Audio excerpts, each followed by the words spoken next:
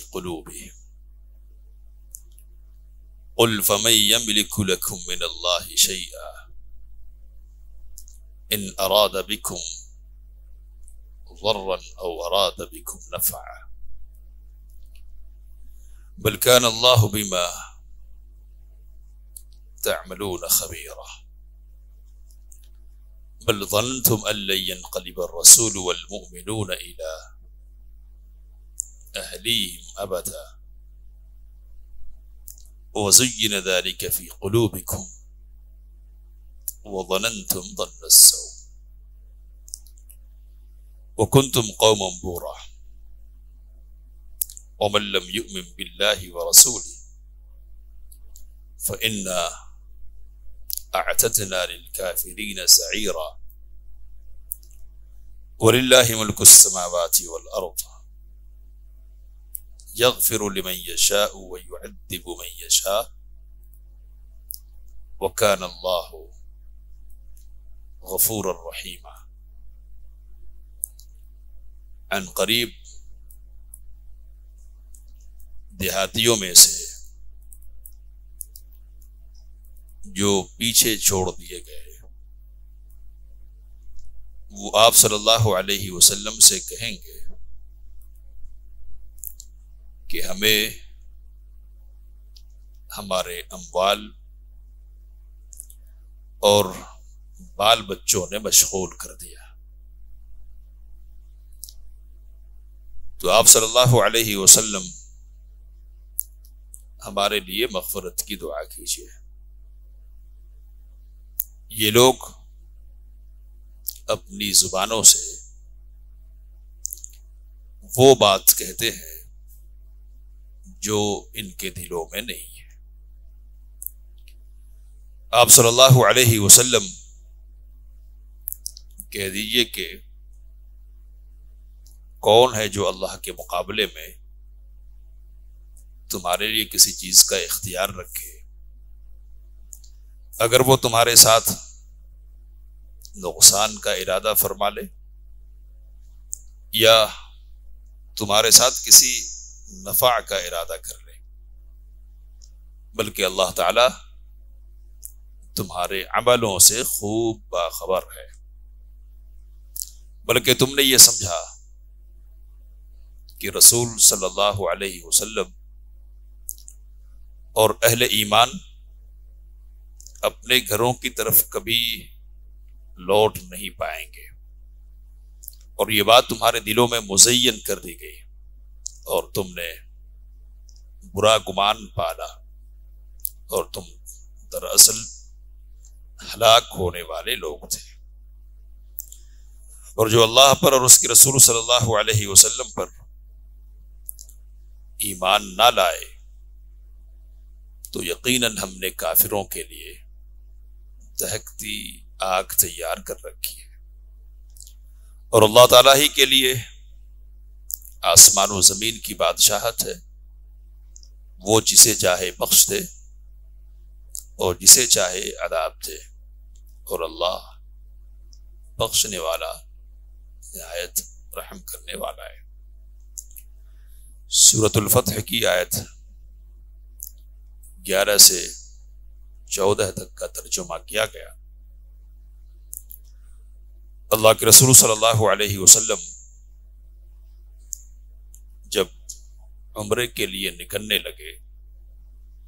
तो आप सल्लल्लाहु अलैहि वसल्लम ने मदीने के अतराफ के जो मुसलमान थे,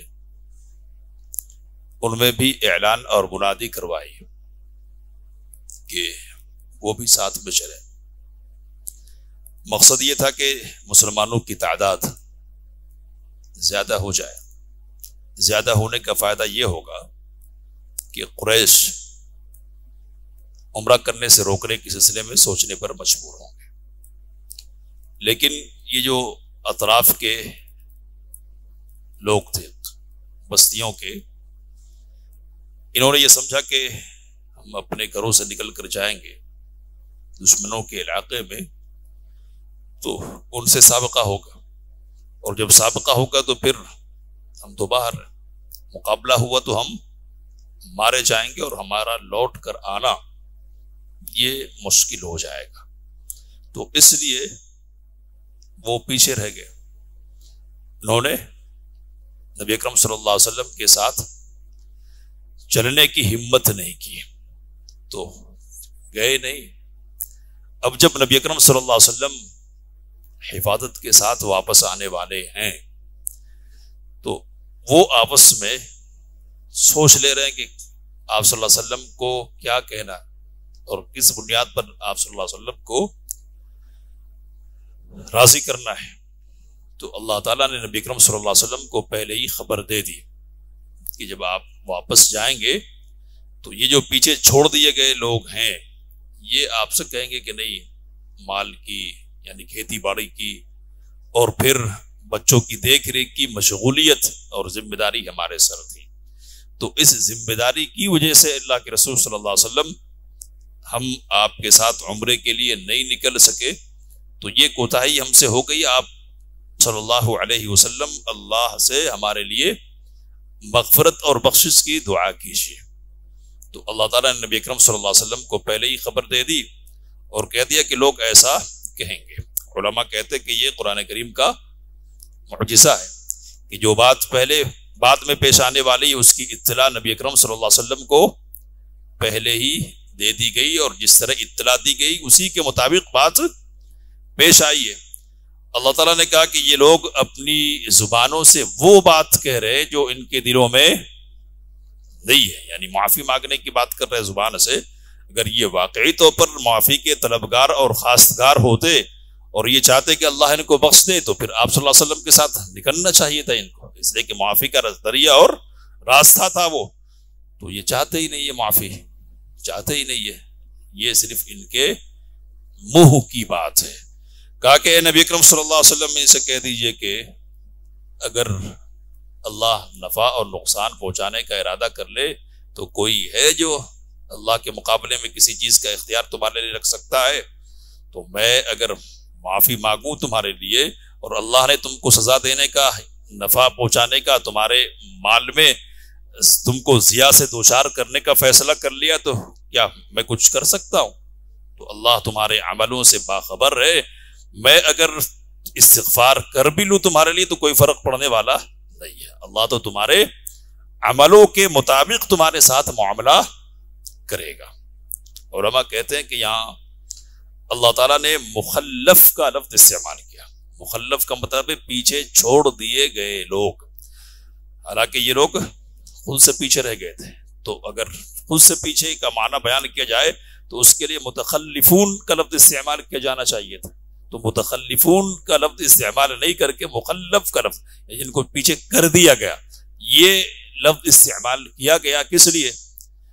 तो कहते हैं कि ये इसलिए, ये बतलाने के लिए कि ये जो नेकियों से पिछड़ जाने की बात है, बुराइयों में पड़ जाने की बात है और नेकियों की तोफीक नहीं मिलने की बात है तो इसमें इंसान की अपनी कोताही होती है, कोताही। लेकिन ये जो कोताही होती है ना, ये दरअसल पिछली कोताहियों की सजा होती है। यानी आदमी के, की नीयत अच्छी नहीं होती, आदमी के अमाल अच्छे नहीं होते ना तो अल्लाह ताला सजा के तौर पर आदमी को अच्छे अमाल की तोफीक से महरूम कर देता है। अच्छे अमाल के, की तोफीक से महरूम कर देता तो इसलिए मुतखलफ की बजाय मुतखलफून, मुतखल मुखलफून का लफ्ज इस्तेमाल, पीछे छोड़ दिए गए तो इनको अल्लाह ने इस लायक समझा ही नहीं कि ये निकले। अल्लाह ने सूरत तौबा में मुनाफिकीन का ज़िक्र किया और कहा, वलो अरादुलखरूज लहू अगर इनका इरादा निकलने का होता ना तो उसके लिए वैसी तैयारी करते।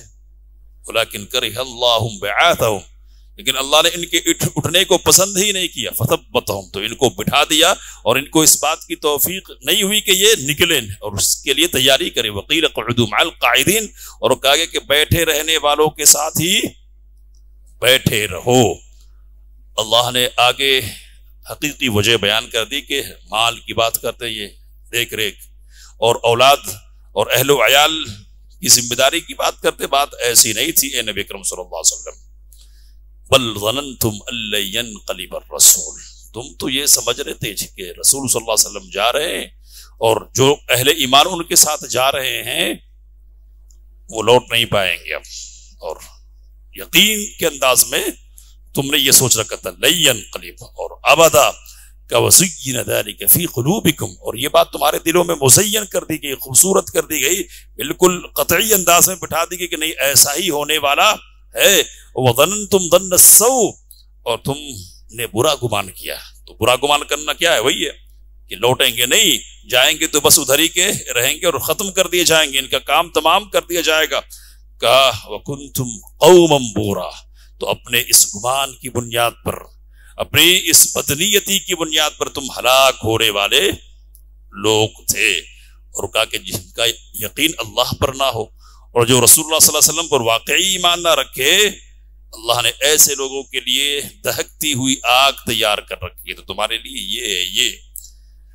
और फिर अल्लाह ने कहा कि कैसे समझ लेते हो कि लौटेंगे नहीं? ये कौन लोग हैं? अल्लाह वाले। और अल्लाह कौन है? तो मुल्क समावाती वल्ला अल्लाह ही के लिए आसमान और ज़मीन की बादशाहत है। तो वो जैसा चाहे, जब चाहे, मामले को पलट देता है और अपने अपने इख्तियार का इस्तेमाल करता है और अपनी बादशाहत में से जिसको चाहता है, मदद के लिए खड़ा कर देता है। जैसे चाहता हालात पैदा कर देता तुमने ऐसा कैसे सोच लिया? और फिर अल्लाह ने कहा यक फिर अल्लाह की बादशाहत मुकम्मल है आसमान और ज़मीन पर। तो इसी बादशाहत का एक मामला ये कि वो जिसको चाहता है, बख्श देता है। और जिसको चाहता है, अदाब देता है। और कवकान अल्लाह गफूर रहीमा। अल्लाह बख्शने वाला है, रहम करने वाला है। मुफसरीन कहते हैं कि ये इन लोगों को जिनको डांट लगाई जा रही है और जिनको वईद सुनाई जा रही है, उनको इस बात की तरगीब है कि गलती हो गई है तुमसे, हुई, लेकिन अब भी तोबा का दरवाज़ा और इस्तफार का दरवाज़ा खुला हुआ है, हमेशा खुला हुआ है और अल्लाह का इख्तियार तो है। लेकिन असल में वो है क्या? तो अपने इख्तियार को वो नाराज़गी के लिए कम, बख्शिश और रहमत के लिए ज़्यादा इस्तेमाल करने वाला है। तो वो गफूर है, रहीम है, माफ़ी तलब कर लो, अल्लाह से माफ़ी मांग लो, अल्लाह तुमको बख्श देगा और माफ़ कर देगा। खुलासा क्या है?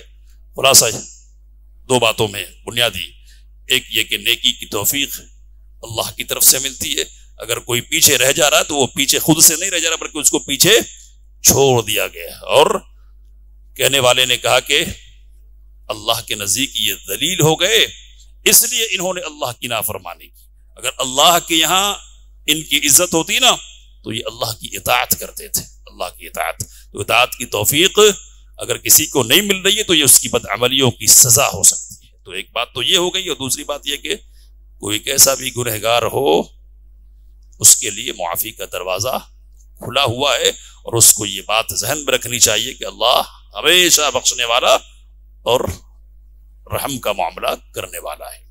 अल्लाह से दुआ की बातों को समझने इस काम लेने की तोफ़ी फरमाए। आमीन वाखरुदाबान अलहमदिल्ला